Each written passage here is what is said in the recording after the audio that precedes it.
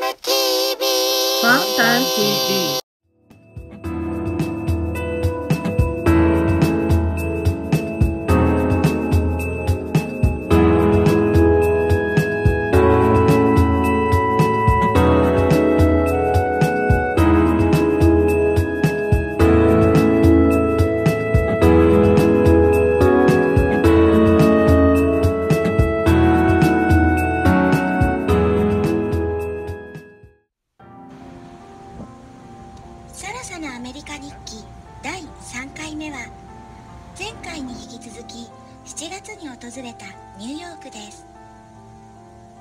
私たちファンタイム TV のメンバーはマンハッタンにある世界最大級の美術館メトロポリタン美術館を訪れました。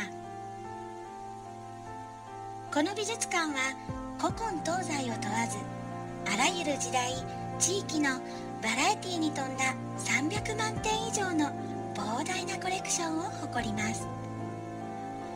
入館料が任意の額となっている広大な美術館で私はヨーロッパ絵画のエリアに絞ってゴッホやピカソモネセザンヌゴーギャンルノワールロートレックなど鳥肌が立つほどの名作の数々に囲まれた贅沢なひとときを過ごしました。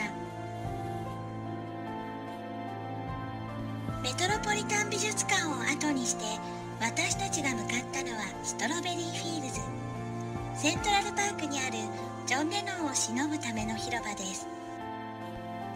ストロベリーフィールズへと続く小道の手前の交差点には有名な高級アパートメントダコタハウスがありました。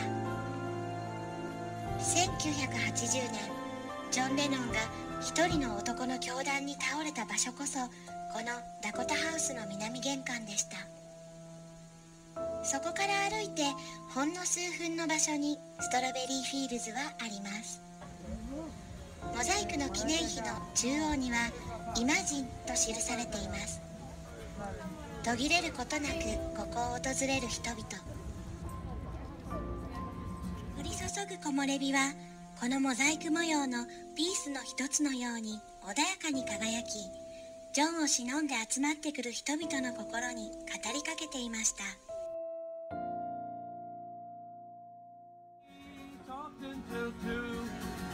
私たちもしばらく記念碑のそばのベンチに腰掛けてジョン・レノンの残した言葉や楽曲平和を願う心に思いを馳せました。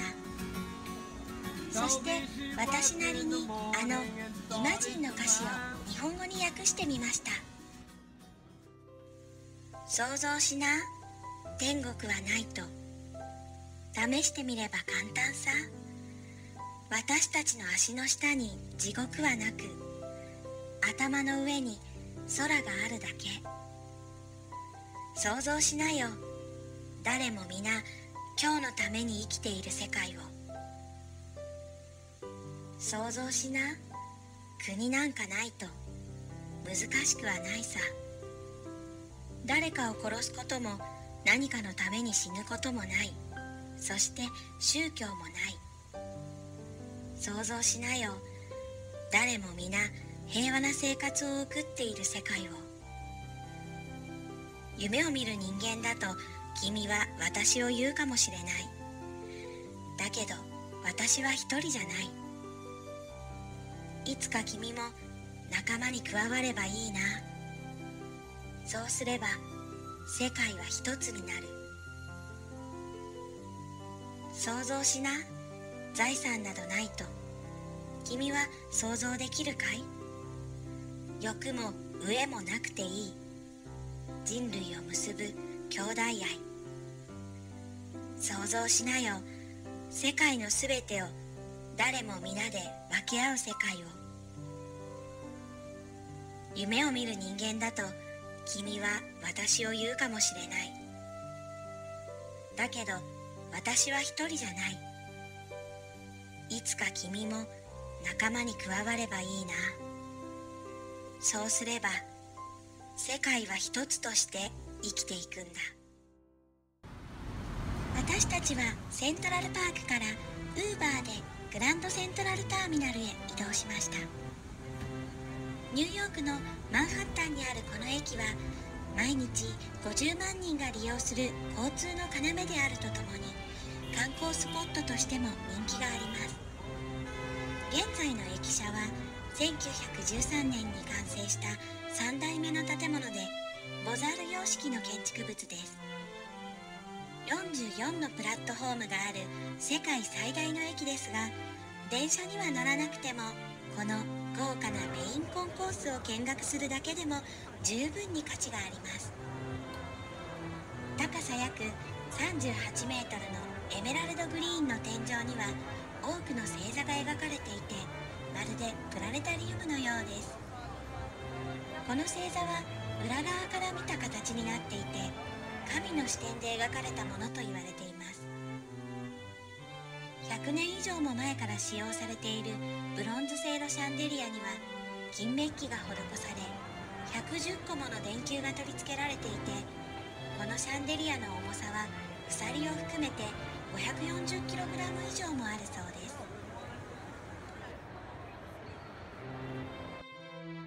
中央のインフォメーションセンターにある時計台は待ち合わせスポットとして渋谷駅のハチ公像のように有名です。大きなアーチ型の窓から光があふれさまざまな映画の撮影にこのターミナルが選ばれてきたことも納得の美しさです。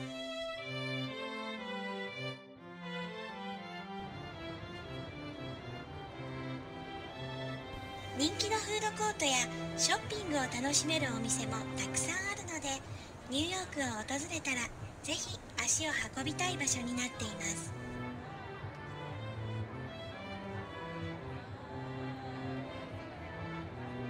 それでは今回はこのグランドセントラルターミナルのメインコンコースからお別れします次回の動画もぜひご覧くださいご視聴ありがとうございました。